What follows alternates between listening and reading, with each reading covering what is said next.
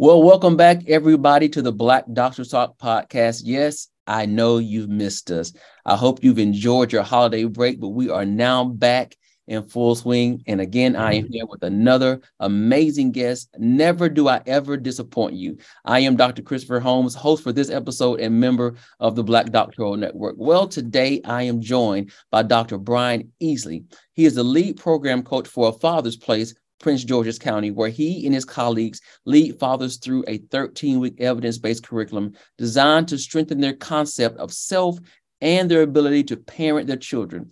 Dr. Easley has over, get this, guys, 30 years of experience, uh, professional and leadership experience in the areas of human resource development, career development, and organizational development. Get ready, as I always say, buckle up. Now, we are literally today dropping diamonds. If you know, you know. I want you guys to welcome Dr. Easley. How are you doing, sir? I'm doing well, Dr. Holmes. Thank you for having me here. And greetings to all. Thank you for having me.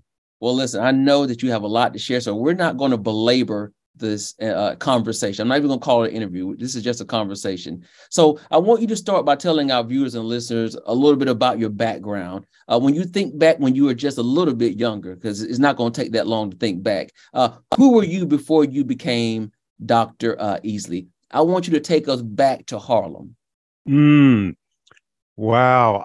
Um, you know, growing up in Harlem, and I'm going to date myself, Dr. Holmes, back in the 60s and 70s, in the projects, as I, I mentioned previously, in Manhattanville projects, it, it, was a great experience. I mean, times were different back then. Yes, we had a whole lot of stuff going on around us, you know, crime and and so forth there, and drugs, and you know, but back then we had um, a safety net. We had several families, and and that village was alive and doing well. It wasn't just we talked about it takes a village to raise a child.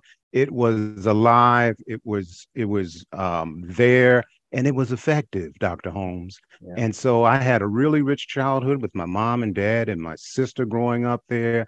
I've always been an introvert always will be an introvert. So when i graduated from high school or prior to graduating from high school you know i didn't think college was for me. You know wow. i had done well. Yeah I had done well. I, I, was in an accelerated course in college prep and all that, but my inner confidence was was just not where it, it is, let's say, today. And so I went into the Air Force. And I don't regret that. The Air Force is what sort of gave me my uh, appetite mm. for learning. And I always say of my four degrees, that associate's degree that I got, Dr. Holmes, uh, was the most meaningful one and the most important one because it said to me, I can do college work. Yeah, it was you that know? seed planter. Yes, sir. It was. It was a confidence builder, you know? Yeah. And I remember I literally, I was living in Boston, Massachusetts at the time, and I cried when it came in the mail. And I looked at it and I was like, wow, you know? And that gave me the foundation and the confidence to say, okay, whatever it is, whatever is there to come, you know you can you can do this. Not going to say it's going to be easy but you can do this. And so uh, having uh, been in the air force which was a very transformative period for me i can remember in my late teens early 20s and i've always been told i was kind of an old soul growing up even as a teenager you know i uh, made a pact to myself and that pact was one i was never going to be a disappointment to my parents. That was mm. very important to me you know that was the best way I thought I could repay them for all they had done for me. Yeah. And two, I was going to always be a credit to my race and to my people, you mm-hmm. know, and giving back. And that's always been something that's not been optional. It's been obligatory for me, you know, mm. an obligation. Yeah. And uh, and three, I was going to do whatever I could, Dr. Holmes, to erase, diminish any negative stereotypes by my example negative stereotypes that exist about black men. That was very important to me, and it still is to yeah. this day. There, you know. So I made that pact. I did not say at that time I was going to get my doctorate, but I did say it, it, it, it fueled me to say, one, I can go and get my degree as I got my associates from the Community College of the Air Force and gave me the confidence to continue on. So tell tell me this. Let's go back to Harlem. Um, mm-hmm. You talked about this extended family network. Mm-hmm. Um, I would like to say it, it, was probably more like a cultural uh, awakening, um, mm. uh, an environment that honored the individuality of what you brought to the table as just not a black person, but mm. also a black man. Mm-hmm. I think that's where that whole this energy and what you're talking about now about those three things that you wanted to do. I think it stemmed. There's, would you agree? I would strongly agree. At no time did anyone say in my immediate family or within my inner circle of those seven or eight families that we were really close to that you could not. Yeah. It was always the opposite. Mm-hmm. You can, mm-hmm. you know. And my parents friends. I remember a gentleman, Mr. Richard. I'm still his son is my best friend, longest best friend right now. Always would ask me about education. Always when he saw me, how, not just how you doing in school, what are you learning? What are you studying in school? Tell yeah. me something. And so he planted that seed as well as my mother and father. I can remember when my friends would come home for school, for example, in elementary, they could go out and play, you know. And my sister and I were like, uh, why we gotta, you know, we came home, we got a snack, and we got right to our homework, and we felt shortchanged. You yeah. know, we wanted to yeah. go out and play or watch TV, but it sent a message later on, Dr. Holmes, that still to this day, the importance of education, which I label as the true emancipator. Mm. You know, I see education once you have not just a degree, but I'm talking about lifelong learning. Yeah. You know, learning, closing gaps, and what have you and how that can free you, emancipate you, strengthen you, and what have you there, you know. So it was that village, it was those individuals that gave me the confidence to say, hey, you know, you can do whatever you want. And I remember back in the day, and I think this has changed some now, but if I was labeled a goody goody, you know, growing up, you know, my mom worked in the school, she was a paraprofessional, so I'd have to be crazy if I wanted to act up or whatever. But I always wanted to please them and but back in that day if the the those who might have not been doing the right thing your uh, criminals your, mm-hmm. your pimps your prostitutes gang leaders if they saw a young brother or sister that had potential the word would get out hands off yeah you know and i had some big brothers and sisters and i know i was protected you know yeah. so i never got into trouble I, you know, we did little things, you know, we smoked our weed, we drank, we did all, you know, that kind of stuff but nothing that that was serious. And I'm so grateful to this day for that village that that set that foundation for me. Mm-hmm. And you know, I'm just listening to you talk, and I, that's what you're actually doing now. You're still creating a village where people feel safe and they oh, feel yeah. protected, and yeah. you're you're feeding into them so they can go and flourish and do whatever it is that they can do because you're yes, not sir. saying can't. You're saying what what are you going to do? Because whatever it is, you can do it. Yes, sir. That is so important. And and as I said earlier, not to be repetitive, but for me, it's not an option. Yeah. It's an obligation. Yeah. You know, and yes, I'm part of a wonderful fraternity. But I always tell people, Dr. Holmes, I was born into an even bigger fraternity. Yeah. And that's the fraternity of black men. Yeah. So my definition, perception, conceptualization of success has very little to do with me. You you you rarely will hear me say, you know, uh, degrees or whatever there, you know, uh, and not that I'm not proud of those things, but I want to look at the bigger picture. Yeah. When I say when I see that we as a people, and we've had some great pockets of success, but I turn on the news every day, Dr. Holmes, and I see preteens now that are being murdered, child trafficking, abuse, teenage pregnancy, et cetera, et cetera. And we know we got some pockets of young people and older people that are doing great things. But when I begin to see those data sets, high school graduation for Black men begin to grow up, high school retention in college, I remember I took a group of youth many years ago, another fraternity brother of ours, to um, a college tour. And there was one school, North Carolina Central, and this is back in the 90s. Mm-hmm. They said they had a ratio of 22 to 1 Black wow. women to Black men at that time. And that always stuck with me, Dr. Holmes, Mm-hmm. And so I've committed myself. I'm not going to change the world, no. But along with others, when I think of success, it's not about me. It's yeah. about shifting those demographics, that data set where we can have more of our young people, older people healthy. Yeah. Because that self-hatred did a number on us. Yeah. Oh yeah. And, and it's we still see it, it's an ugly little head surface yes, up sir. time to time. Yes, um, sir. And I look over your resume and I and I see a common theme. Mm. In every degree that you ever have earned, keyword here, people earned, there is this thread of service. Mm. Every degree is a is a degree of service, mm-hmm. giving back, of supporting. And so let's talk about the transition from the associate's degree that planted that first seed of confidence to where you decided to go and get your bachelor's and then on to get your master's. Mm-hmm. Well, I, I, got my bachelor's degree from the University of Massachusetts in psychology. And I remember faculty telling me, and, and, and those in the field said, in psych, you really can't stop there. You mm-hmm. know, you, it, it was almost, at least at that time, and I think it's still kind of pertinent now, where you needed, you got to get more, masters at least. Yeah. You know, so that seed was planted while I was uh, an undergrad. And so I went to, and, and then I discovered historically Black colleges. I mean, I knew of growing up in Harlem. I knew of Morehouse and Atlanta University Center, Dr. Holmes. I knew of Spelman. I knew of Tuskegee and the Tuskegee Airmen, etc. Maybe half a dozen or so. But I discovered when I was doing an internship at the Higher Education Information Center, Dr. Holmes, that were there were over a hundred at the time HBCUs yeah. And I'm like, wow.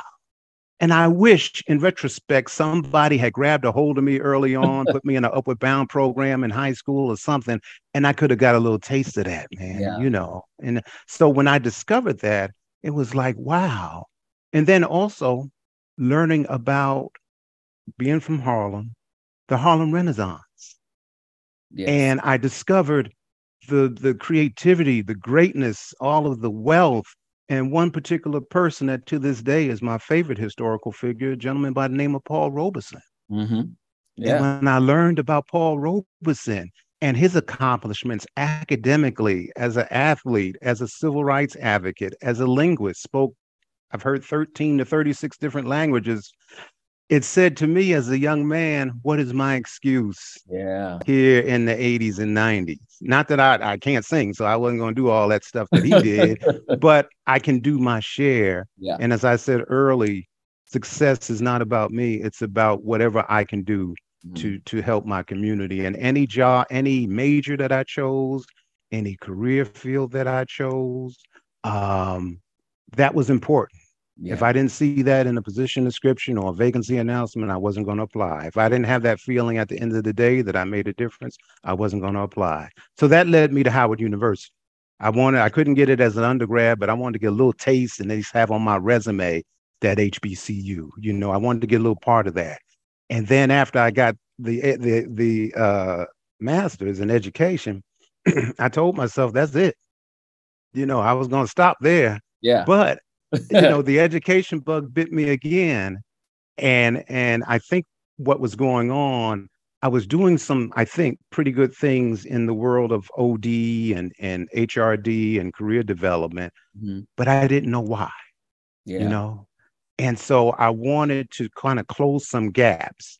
The practitioner was okay, but as far as having the conceptual knowledge as to why yeah. When, when, when I'm doing team leading or when I'm facilitating or when I'm doing any of the training or whatever there, I wanted to close those gaps. So that led to pursuing the, the doctorate at Virginia Tech.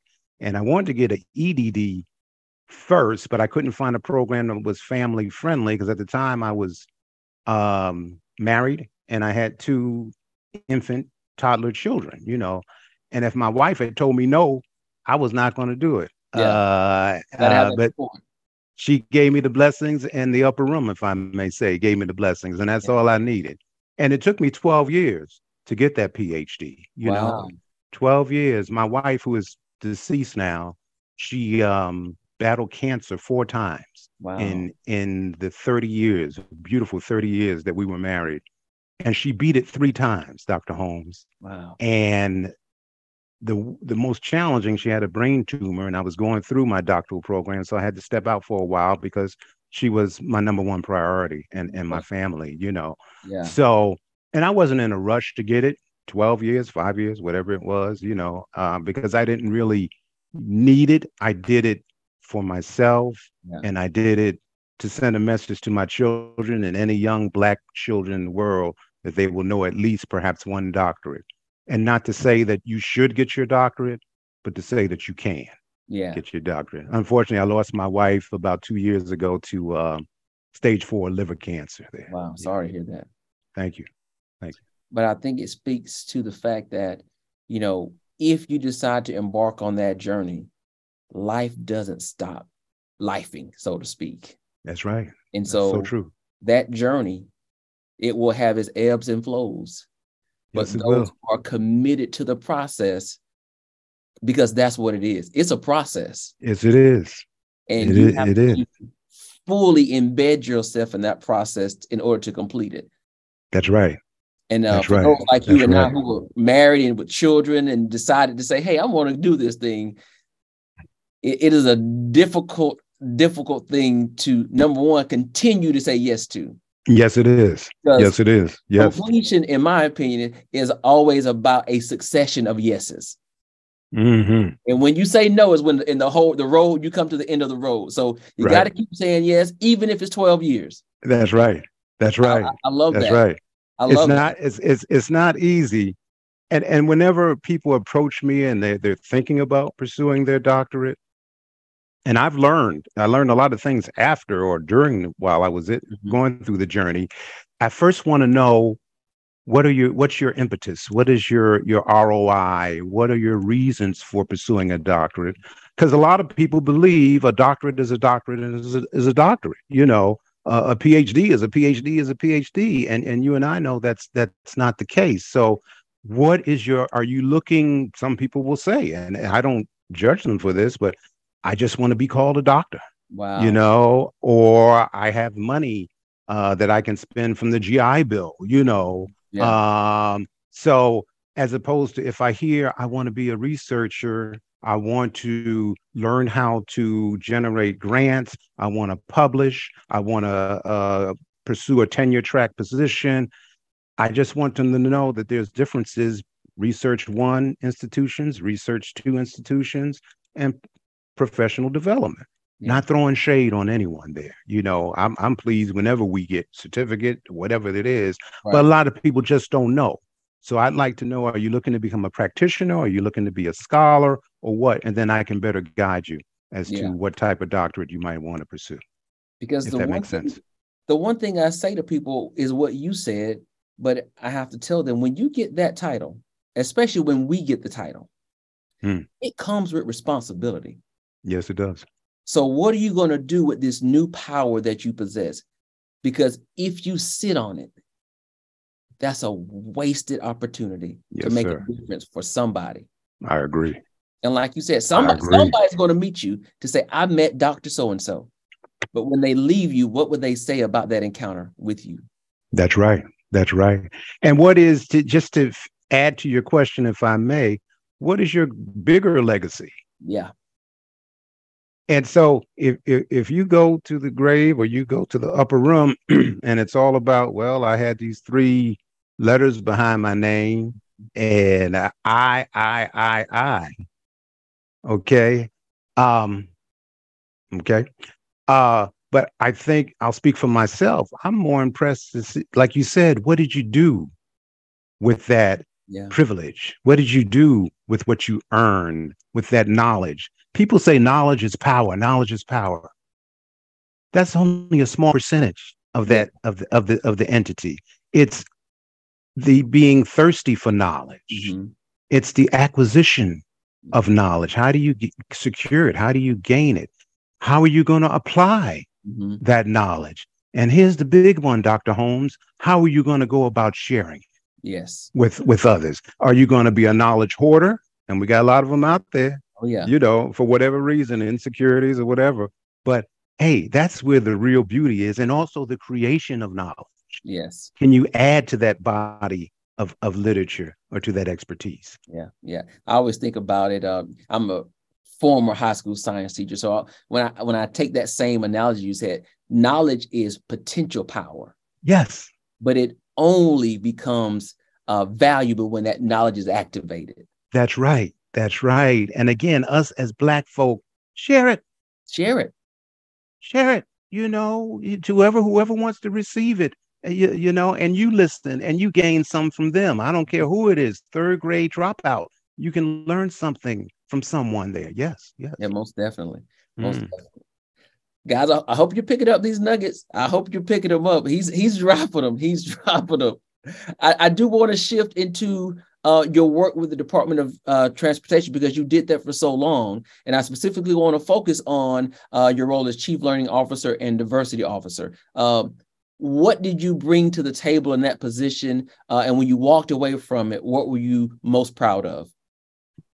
Um, I think I'll start with the latter. What I was most proud of, I think, is that I always wanted my my dissertation focused on developmental support networks, which is the nuanced term for mentoring, you know. Mm-hmm.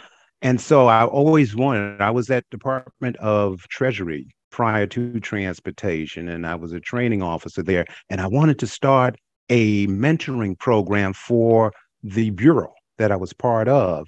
And never did it for whatever reason there. You know, I would do proposals, I would try to fight for it, and it never happened. I got to DOT and I did the same thing. I was trying to say we need, and then and then it's funny how things happen. I don't care how they happen as long as they do. right. I think it was a, a Women's History Month program, and a young sister stood up and asked, and my superiors, supervisors were in the audience, asked, Do we have a mentoring program here at Department of Transportation?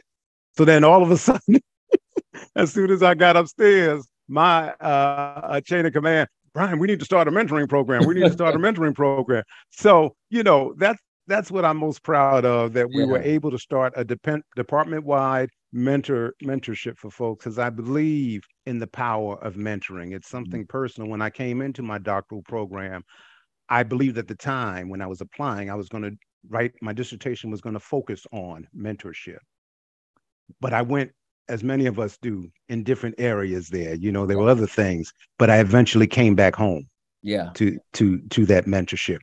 Um and so that's what I'm most most proud of. The first part of your question, please. I'm sorry. Uh, well, you, you did so many things there, right? You yep. workforce analysis, workforce planning, recruitment, diversity and inclusion, leadership and, and workplace development. Like, how did you harness all of that to have a clear focus uh, in in all of those areas that you felt like were going to be effective?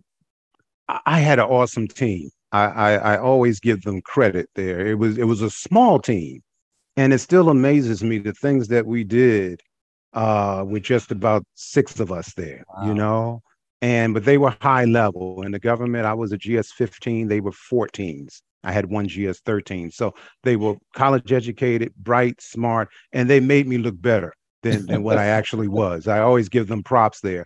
But we were able to uh, um, focus in. One of the biggest frustrations, though, was with the DNI, diversity and inclusion. This is toward the latter part of my stint when um, there was a certain administration that was on board at the time. And I don't know how many people knew this, but DNI was not diversity and inclusion and equity were not uh, comfortable terms at that wow. time you yeah, know. Sure. And matter of fact, there was a witch hunt, Dr. Holmes. We were told that we had to um, present and share. We had to stop. We cease and desist any kind of DNI training. Stop. And then we had to share whatever DNI training we had done and any other training we were going to do for the next fiscal year. So that was extremely frustrating. And I wanted to start a diversity and inclusion council, which DOT had had at one time. And I was told no. Mm, okay. So what we did is we formed an employee resource group consortium. We took the we asked the leaders within DOT to become part of this. We called it an ERG uh, uh, consortium, and we would meet quarterly. And the purpose of that entity was to help those leaders to identify resources. We surveyed them. We asked them what they were looking for, what would help them. Uh, how do you go about recruiting folks for your ERGs, retaining individuals, securing space, you know, uh, and I'm proud that we were able to to have a successful stint. I was told now they do have a DNI council, and I'm very grateful of that yeah. um, because that's that's that's needed. That's much needed there. And it's interesting that you say that because I get a lot of people uh, that I interview that are engaged in that work. But you're the first person that I had an opportunity to talk about that work during a certain uh, administration of this country where we know that type of language was not tolerated.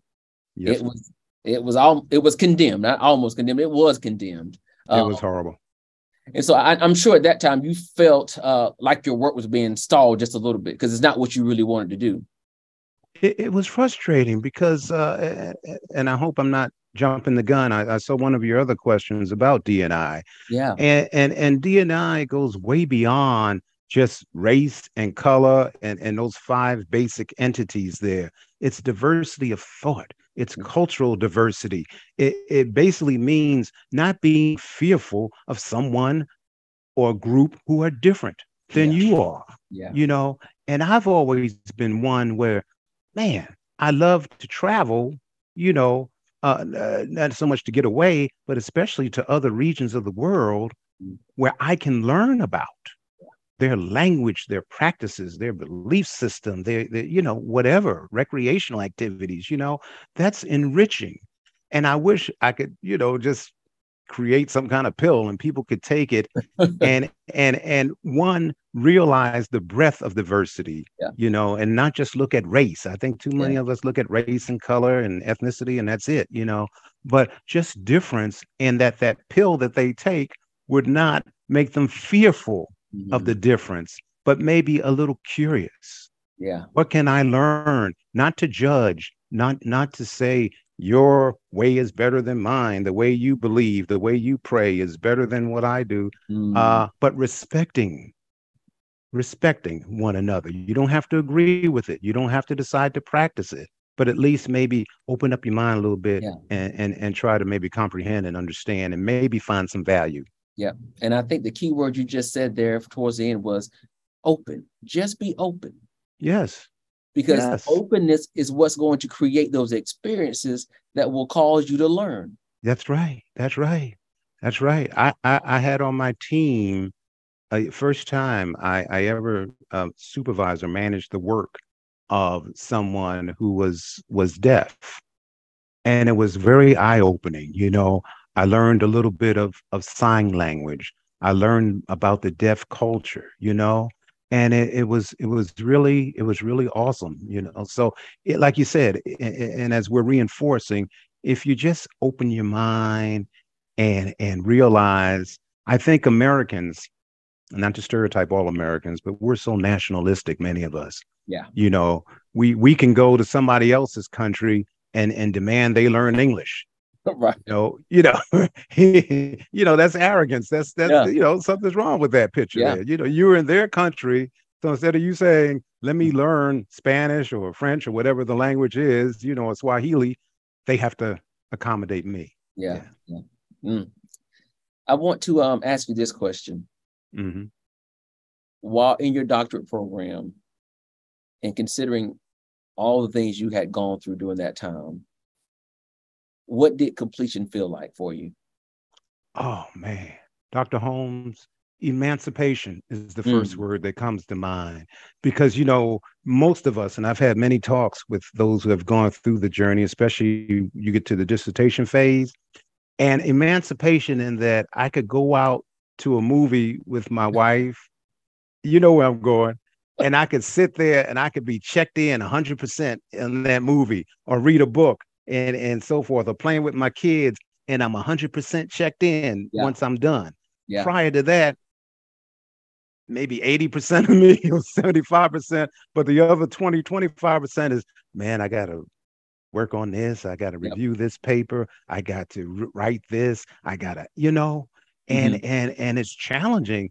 And I talked to many people also who have said, and I know I said this at some point, and I think you alluded to this earlier at some point I said, man, is this worth it? Yeah. you know, and I thought about, you know, stopping out because it was, it was, it can, it's very stressful. And that's why I always say to people, if you want to do it, you got to do it for the right reasons there. Yeah. You know, but I know one thing that scared me as I was applying, I saw some data. I don't remember the source, but I saw data that said doctoral students had a high degree of uh, divorce, you know, going through the journey. Yeah. And that scared me. I said, man, I talked to my wife about it. I talked to God. I said, no, I, I don't want it that bad. I don't want it that bad, you know. So I had to try to I tried to find a program where I could balance as best as possible that was family friendly, you know. Right. And I, I I did find that at Virginia Tech, but I wasn't that, and that's another reason it took 12 years. I was I was in no rush, Yeah. you know, but I knew I was going to get there because the other thing that was driving me and was that there's a term in baseball called hitting for the cycle. Mhm. So, and this might have been a bit of e- ego or whatever, but I said, well, I got the associate, I got the bachelor's, I got the master's, and this was on low on the list. Let me just go ahead and get the doctorate. Yeah, Yeah. you know, and uh, yeah. I think uh, I love when you say the word uh, emancipation yeah, because in yeah. essence, the, the this program when you're in it, you are bound literally. yes, yes, And I, Yes. I mean, I laugh when you said the movies because it didn't matter where I went. There was either my phone or my laptop with me every place I went to. that's right. And- and- and- I, I couldn't get away from it. Yes, yes. You're not plugged in. You're not checked in 100%. And it's not fair to your family. And that's why I tell people who are married or have children, they got to come along with you. Yeah. You know, and very few people I find, God bless them, unless you've gone through the journey. And this is not a put down or throwing shade. You can empathize to a certain degree, but you really don't know Yeah. what it's like, you know. And and so yeah, I might be at a party or something, but I'm thinking, oh man, I got to get home and work on this paper and, and this chapter, and, uh, the defense, and you know Yeah. the whole thing. Yeah, It all shuts down. I'm telling you. that's you. it. That's it. That's down. it. So it was so freeing and emancipating when I was done. I could breathe. I could smell the roses. I could, you know, I was checked back in with life. That's what how I felt. So you you graduate, you retire. I Mhm. want you to talk to us now about how did you get into a father's place and tell us what that is. Uh, Father's Place, as as you mentioned earlier, is a program designed for fathers in Prince George's County, Maryland, and it's designed for fathers who are 18 years and older, who have children who are 18 years of age and older and younger and younger, Mhm. excuse me, and they have to be residents of the county. Those are the only three criteria, and so it's been around for about two or three years, but because of COVID and some other administrative things, it was put to rest for a while. And thanks to a woman named Patricia Strong, it's been revitalized. And now, serving as the lead program coach, we've got about, we started off with about 10 individuals about three weeks ago. We just completed our first three week, uh, thir- our third week, excuse me. And it's designed for 13 weeks. And what we focus on is a plethora of things. One is helping them to learn more about themselves Mm, as as individuals there. So we have assessments like we have a parenting inventory that they take, and they're about to get those results in a few weeks to identify what they're doing well in. We want to make sure we recognize that as as parents, their strengths, but also their areas of improvement and how we can begin to close those gaps there. And so we are helping them to maneuver the system, if you will. We have some wonderful partners that we're working with to help us with the court system, mental health services there. Um, and we meet with them twice a week, Dr. Holmes, wow. uh, on Tuesday and Wednesday evenings for two and a half hours. And we have individual coaching that we give to them. Um, we also will be having them take the DISC assessment there to find out more about their behavior style and personality style as well. And so it's f- the first few weeks are focused on getting to know them. And it can be a painful journey for some because, like we talked about forgiveness, you Mm, know, the other night, and the importance of forgiveness, forgiving yourself. yes. Many of these young brothers, older brothers, I think we got ages in this cohort, we've got 20, early 20s to early four, mid 40s, I think. And so Mm, many of them have been beat up, sometimes by their own families, you know, and your own grandfather in one case. Uh, brother said his own grandfather said he wasn't going to be any good. Wow. Fathers that just ignored them, their biological fathers that were, and some that were in the house with them, and they were like invisible to them. So there's a lot of pain and trauma and Mhm. stuff, and they have to. And we're not a therapeutic entity, no, but we have resources for that if needed. So we're not trying to fix that per se, but if we become aware of that, we do make referrals to them Mhm. And we're helping them to understand what healthy manhood is. And that's a space I've been in for the past, or trying to still be in for the past 10 years. Yeah. Another wonderful nonprofit group called A Call to Men uh, was established in um, New York City by two African American men, Ted Bunch and Tony Porter. And Ted and Tony are still trying to help men to understand healthy manhood Yeah. you know, to hopefully reduce um, divorce rates, hopefully, hopefully to uh, reduce um, um, domestic violence there, um, because we got a lot of men out here that their emotional IQs are very narrow, and I know you know what I'm talking about. Yeah. The one emotion that many men are being given license to share with the world is anger. Yeah. But when it comes to depression or sadness or any other type of emotion, often they are emasculated. Often they are told they're less of a man. Often they are demeaned or ridiculed, you know, if they express. So we're trying to help these men to become better men and then to talk about co parenting, to work with on behalf of their children, no Yeah. matter what happened in your marriage or between you and your significant other, to be able to in the best way possible co-parent with this individual for the sake of the children. And we also third talk about their relationship with their child. And we try to connect some dots as they think about like the other night we did an exercise on the child within. Mm. you know going back to what were some of the needs that you had as a child? Were those needs met or were they not met? And if you were a parent and you were visioning exercise dealing with someone a child with those same needs what would you do how Yeah. would you address it you know so we're helping them to become better men better co-parents and hopefully better dads to to their children Wow. Uh, can can you sign up for a second 13 week if you need it?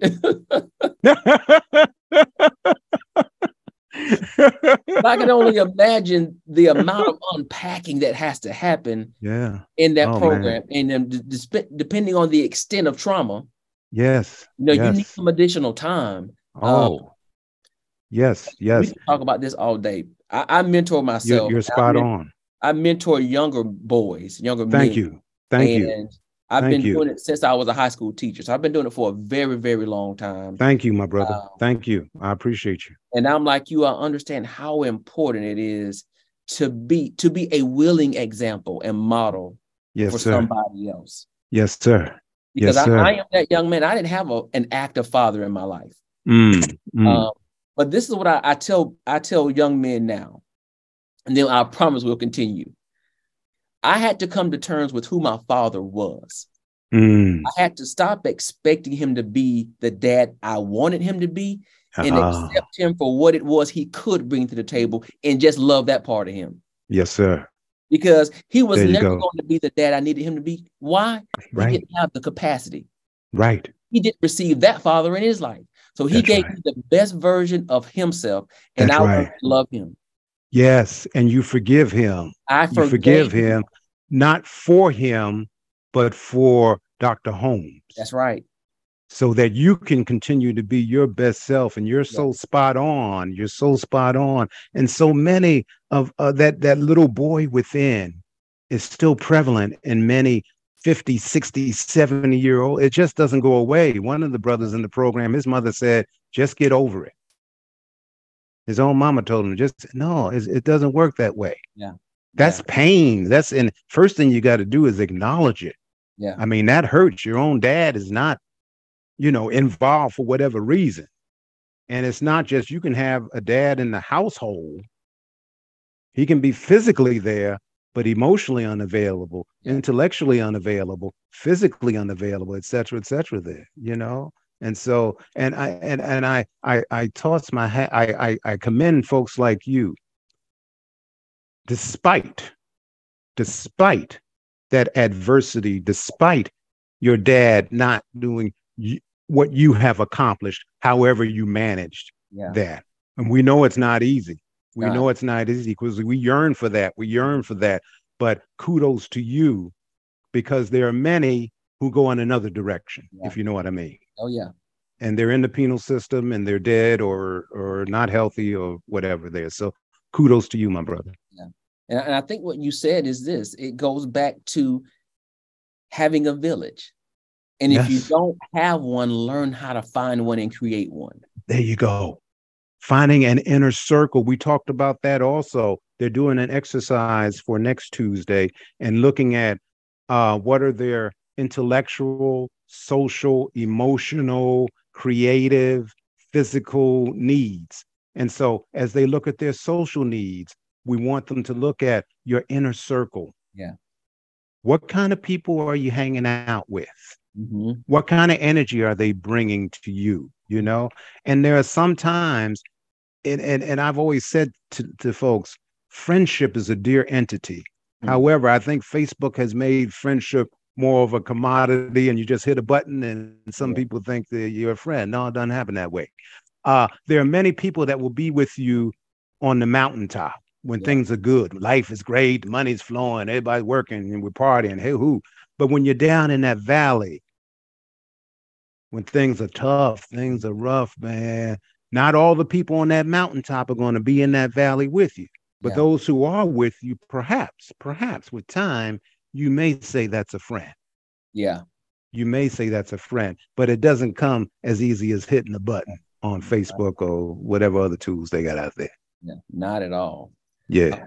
So we're gonna we're gonna get off of that because we can stay there for the next two hours. All uh, right, my brother. All right. I wanna, yeah. I want to ask you this because you know even that work itself is valuable work. So with all the things that you've done and the things that you're currently doing, what is going to be your legacy?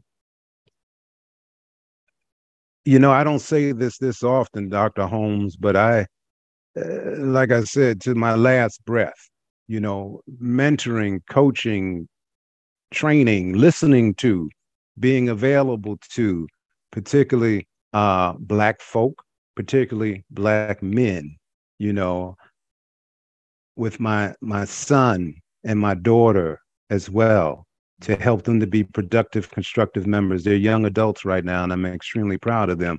But I'm hoping I, I can say, not to brag or boast, because that's not me, but I have worked with thousands of individuals at this time. I hope God will give me a chance to work with a thousand more. And I hope to find brothers like you that that value and understand this obligatory process. This again is not something that's optional you know I, I look at i'm motivated. I know what self-hatred is doing and has done to us. Just because lincoln signed the document god bless him in 1864 or 63 whatever it was the pain doesn't go away. Yeah. the trauma doesn't go away. And you tell one person you feed them with negative negative negative. You're ugly you're dumb you're stupid you're not smart. You're property. You're not even a human being. You're property what does that do to them? The signing of that document does not make that go away. Yeah. And it gets passed on and passed on for generations. Mm-hmm. And that's, I think, the alpha, the omega, the the the the the crux of what we are are fighting right now, you know. And then you got major distractions like materialism, hedonism, and in, in not individualism, but uh, narcissism yeah. and uh, uh, egocentrism that I think are being fed off. Because when you got that self hatred, you're trying to find your identity. So you find it in things and yes. clothes that you wear and all that. But that's a false narrative. So I'm committed. My legacy, go back to your question. Hopefully, whatever I can do, I'm not going to change the world by myself. I need more folks to to for us to work together and understand what true success is. It ain't about you. Yep. It ain't about me walking around talking about I got four degrees. Who cares? So what? Whose life have you changed? And I would say lives. Lives, yes. Plural, if I may, my brother. Yeah. Lives. Yes, yeah. Dr. Holmes. Yeah. Did I answer your question? Yeah, brother, you answered that question. All right. oh man, uh, I, am enjoying this conversation. Um, as we as get um, to uh, a close, I do want to ask you this one final question, and, and this is important uh, for those that are listening and viewing because you are a member of the Black Doctor uh, Network. We are privileged to have individuals uh, like you be a part of this organization. So, talk a little bit about what the Black Doctoral Network means to you. Oh man, one, it, it, like I said, the journey is so lonely. yes, and so and this is not again i'm going to say again not to condescend to others but when you can talk to others about mm. that journey it's it's it's it's powerful. I don't know what the data says now but african american phds make up i think it's less than 1% please check me if i'm wrong yeah. but it's very minuscule. So it's very few that have a phd few that have a doctorate etc there. So it's it's it's a nice wonderful fraternity the podcast. I was just listening to one. I think her name was Dr. Cromer, if I'm not mistaken, yeah, uh, that you yeah. interviewed, and it was insightful as I listened to her talk about her journey and her sharing. You know, and so again, that's what success is. If we can share with one another, and I think the Black Doctoral Network. I know. Excuse me. Let me correct myself. I know the Black Doctoral Network does that there, and just saying to others who are thinking about taking that journey, it's possible. Awesome. Ain't gonna be easy, will not be easy, okay? But it is possible, and you can get some mentoring, you can get some support, you can get some encouragement, you should get some information, you can have someone to listen to you if you're considering it, if you're going through that that journey. Yeah, yeah. And, and one of the things she said in that interview, which I think you exemplify, uh, even in this interview, is about representation. Mm. Don't mm-hmm. just be in the number, let that number count for something. Ah, amen, my brother. Yes, sir, Dr. Holmes. That's right. Uh, or, or, or, or what what is, you know, I think about people that laying, God forbid, knock on wood, on their deathbed. And and if your thoughts are about the kind of home you lived in, or how much the kind of car you drove, or you wore uh, uh Armani suits, I don't know what kind of, you know, um, I feel for you. Yeah. I can't judge you. That's up to the upper room. I do not judge other human beings, or I try not to. But I'm saying if that's what you think your legacy is going to be, nobody's going to remember that. Yeah. How did you impact your children? How did you impact your family? How did you impact your community? Yeah. You know, you didn't have to change the world, but I believe you're either part of the problem or you're part of the solution. Yeah. Yeah. You know? There's no fence that you can straddle. It's one or the other. Yeah. You know, and the psalmist, they, they wrote, you know, you build your hopes on things eternal. Yes, sir. Things that are going to last. Yes, sir. generational. Yeah, uh, you're going to start preaching, Dr. Holmes. Yeah, and, and those, so, you know, that's where we want to plan our focus. Those mm. things that are eternally good for other people. Yes. And, and yes. that's where the power of these of this degree of the effort, the energy, the work, that we put in, that's where it makes a difference. Yes. And that sir. way you don't yes, have to worry sir. about that dash. The dash yes. fills in on its own. There you go. And we got so much potential out here that is just being wasted yeah. for whatever reason. Yeah. You know, it's not being actualized. We got some people saying out here that education is not important, you know, and we will there was a time I, I love sports you know football basketball what have you there. But it was a time when you use those talents to get your degree let's say. Yes. And i can remember watching back in the 70s 80s a basketball game and you would hear about what the brother's major was or mm-hmm. maybe what the gpa was or academic uh, uh, scholar uh, etc now at least when i watch it they're just athletes. That's it. Yeah. You know, and if you look up some of these graduation rates for some, I mean, you know, I, I, like to look at them when the NCAA March Madness stuff comes around. You know, but that comes from whoever's at home, I think, with that child. I don't care if it's the next LeBron, Michael, whoever there, you know, Jim Brown, whatever. Um, prioritize yeah. Prioritize because you can only run or shoot that ball for a short period of time. you get injured, you you get uh, put off the team, whatever. And we got so many brothers who are back on the corner. Yes. Whether it's Harlem, whether it's Atlanta, whether, wherever, Watts, you know, and they were going to be the next. Mm-hmm. They were going to be the next, you know, okay? I remember hearing a story about if I can, well, there was some school in the South here that had football players that were reading, I think, at an elementary school level. And they had these young men reading Dr. Seuss books. They were under their beds in their dormitory. Yeah. And I don't look at the young men with that travesty, Dr. Holmes. I look at whoever's at home, whoever that caretaker was. When you discovered little Brian or little Christopher were reading, they're in in seventh grade, they're reading at a fifth grade level. Oh, never mind sports. Yeah. No, we got we got to work on this because reading, math are not just they're life skills. Yes. Not just academic skills. You can't yeah. read. You make it to the pros. You can't read that contract. Mm-hmm. So you're reliant upon somebody else you know so yeah. i can yeah. think i kind of digress there no no there, you're, you're absolutely right because yeah. it's about prioritizing those things that make the biggest difference right? Yes. Because what happens when the injury occurs or what happens when the celebration and the applause end?